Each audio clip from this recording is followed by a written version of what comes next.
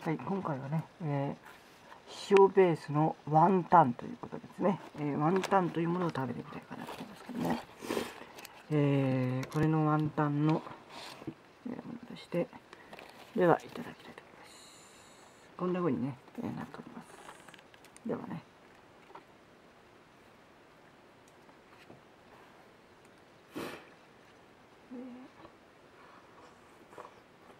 うん。簡単な味わいでね。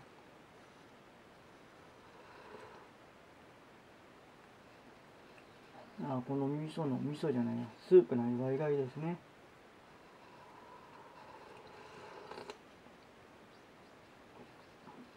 うん。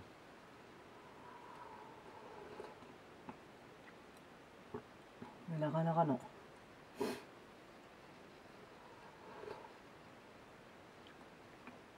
味わいで。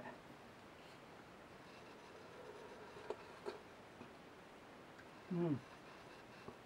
結構なね。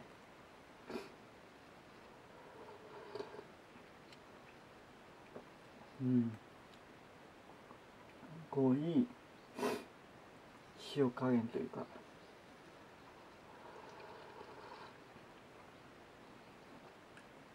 この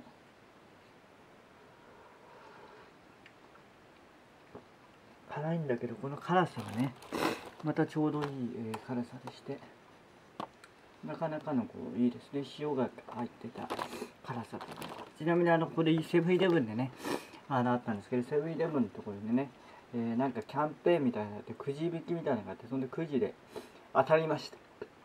で、えー、くじで当たったもんですけどもなかなかね当たったからまあちょうどただで手が入ったし、まあ、ちょうどあれですねあの動画で紹介しようかなと思ったん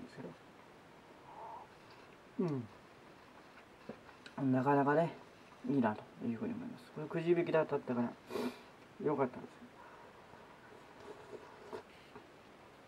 す。よこのうん卵のこのふんわりとした柔らかさと卵のうん味わいがいいですね。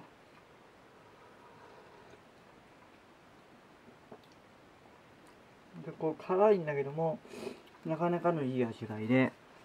うん。これがすごくねあのー、なかなかの美味しさとこのなんていうんですかね